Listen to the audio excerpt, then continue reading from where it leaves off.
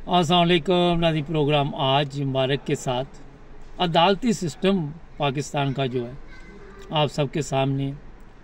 Cipher का इस वक्त जो मुकदमा इमरान खान के गले में डाला गया, उसके बारे में हम आपको बताते रहे बारह दफ़ा के जनाब, ये खुद कमरजवेद बाजवा है या पहले डीजी आईएसपीआर था, उनके बयान क्या थे?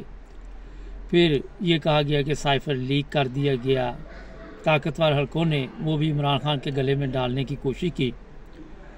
और अभी तक कोशिश जारी है। जिस जज के पास ये केस था, उस जज ने ये केस सुनने से इनकार कर दिया।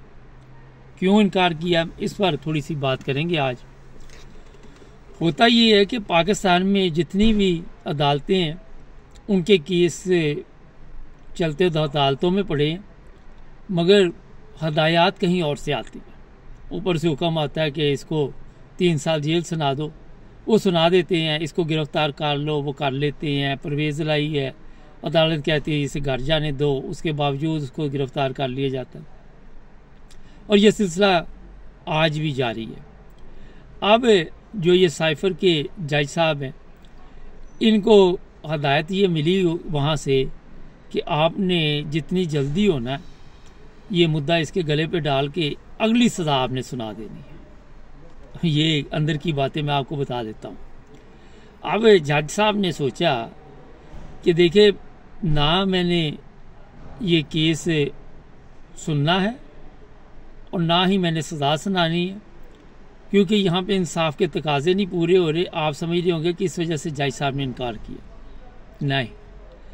जज साहब ने जो दिलावर का तमाशा देखा इंग्लैंड में हमायूं दिलावर को सोशल मीडिया पे जिस तरह लोगों ने लान तान की, फिर जिन्होंने उसकी अच्छी खासी यहाँ पे चतरोल की, उनके ऊपर केस बनाए गए दहशत गर्दी के पाकिस्तान में। और जो हमायों दिलावर है, कहा जा रहा है कि उसकी बीवी भी उससे अलहदा हो गई और भी कई सवाल उठते। तो इस बार इस जज ने सोचा कि मैं अगर इनके काम आ जाऊँगा इस वक्त और तो कल को ये मुझे भी किसी दूसरे मुल्क भिजवा देंगे या हो सकता है बाद में मुझे हार्ट अटैक हो जाए हो सकता है मेरी कार को कोई हादसा पेश आ जाए हो सकता है ए, मैं भी कहीं गायब हो जाऊँ मिलूँ ना। तो इस वजह से जज साहब ने कहा जनाब कि मैं चाहता हूँ माजरत आप कोई और वफादार बंदा लाएँ और उसके सामने ये केस रखें। ये हमारी जो वहाँ पे आप सब के इलम में कि अदालतों की हालत है, वो किसी से छुपी हुई नहीं क्योंकि इस वक्त जो गेम चल रही है, जो ताकतवर लोग हैं, उन्होंने सोचा ये है कि ये सियासतदान जो हैं, इनको इस्तेमाल करें जो चोर हैं, जिनके ऊपर अपने केस हैं, दाएँ बाएँ के, और जजों को इस्तेमाल करें और इनसे फैसले करवा के सजाएँ दिलवाएँ। ये अंदर की कहानी है। अब कई जजों को धमकी दी जाएगी कि अगर आपने ये फैसला ना किया तो आपकी बीवी को उठा लेंगे, आपकी बहनों को उठा लेंगे, आपके बच्चों को उठा लेंगे और उन जजों को मजबूर किया जाता है। कई लोग हैं आज तक जो कहते हैं कि हार्ट फेल हो गया अच्छा भला था। कोई कहता है, जनाब ठीक ठाक था। पुलिस इंस्पेक्टर भी ऐसे हैं। किसी ने कहा, पुलिस इंस्पेक्टर ने कर कि जनाब, आप मुझे उन गाड़ियों की इजाज़त लेने दे जो ताकतवर लोग हैं तो खुद के शमले रुक जाएँगे। बाद में उस पुलिस वाले को भी हार्ट अटैक हो जाता है। तो इस तरह के हादसा पाकिस्तान में होते रहते हैं। मगर दूसरे मालिक में जो लोग यूरोप वगैरह में आ जाते हैं, उनको ये हादसा पेश नहीं आते। यहाँ, क्योंकि वो सेफ़ होते अब एक नया जज ढूंढा जा रहा है। जो ये केस सुनेगा और उसका बंदोबस्त पहले किया होगा, उसकी वीडियो शीडियो बनी होगी। उसकी वीडियो बनाने के बाद पहले उसको कंट्रोल किया होगा। कोई पैसा वैसा भी दिया जाएगा, कोई महँगी गाड़ी भी दी जाएगी, कोई उसकी ज़िंदगी जो है, पहले सब्ज़ बाग दिखाए जाएँगे और बाद में जहन्नम बनाई जाएगी। मैं भी बिल्कुल सीधा आपको बता रहा हूँ।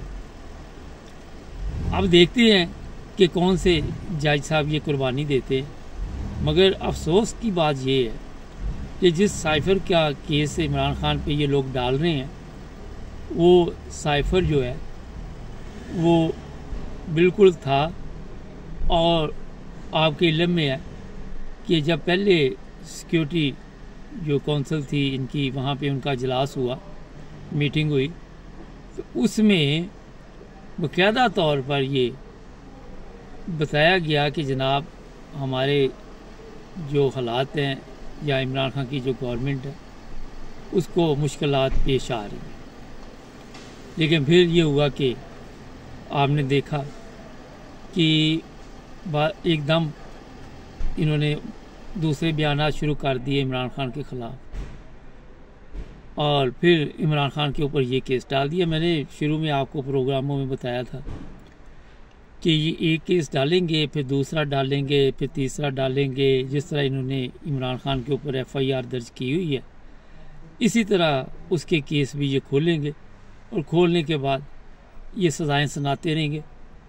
बाकी की ज़िंदगी जो है, इनकी कोशिश यही है कि इमरान खान जेल में रहे और वहीं पे कभी किसी अदालत का चक्कर लगाए, कभी किसी अदालत का चक्कर लगाए और इसकी ज़िंदगी जो है, बाकी हम अपने कंट्रोल से चलाएँ, अपने सिस्टम से चलाएँ। आज भी मुझे कुछ लोग मिले तो उन्होंने ये कहा कि, जनाब, आपका क्या ख्याल है कि इमरान खान को ये छोड़ देंगे? तो मैंने कहा, काफ़ी मुश्किल काम है, क्योंकि काफ़ी मज़बूत लोगों से इमरान खान का पंगा पड़ गया और इमरान खान ने दुश्मन काफ़ी बना ली है दोस्त काम में। तो अल्लाह करे कि छोड़ दें इमरान खान को।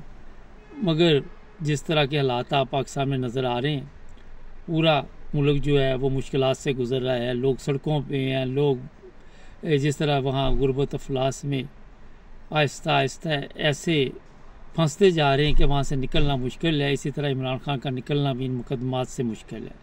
जिस तरह पूरे मुल्क को पहाड़ों को दौर में पहुँचाने का तहिया किया गया है, इसी तरह ये मेरा ख्याल है कि इमरान खान को भी रास्ते से हटाने के लिए आप सबके सामने कितनी दफ़ा उसके ऊपर वो हमले हुए, कभी कातलाना हमला, कभी उसे जहर देने की कोशिश की, कभी कुछ कभी कुछ। बहरहाल, अभी तक तो ये पता चल रहा है कि नए जज को लाने की तैयारी की जा रही है। शाम को कोशिश करेंगे कि आपको हालात हाजरा में और भी बताएँ। मैं आजकल क्योंकि ट्रैवल पे हूँ तो मुख्तर रिपोर्ट आपको फिर भी देता रहता हूँ। हमारे चैनल को सब्सक्राइब करें, जुड़े रहे हमारे साथ। मिलते हैं नए प्रोग्राम में। अल्लाह हाफिज़।